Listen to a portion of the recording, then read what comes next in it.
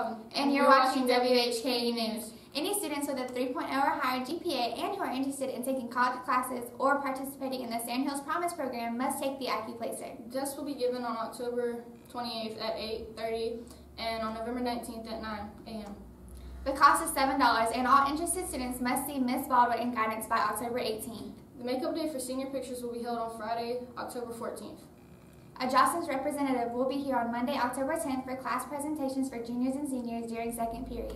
All students should report to second period so attendance can be taken. Seniors will be, released at 10.15 to go to the McDonald Gym and will return to class approximately at 10.55.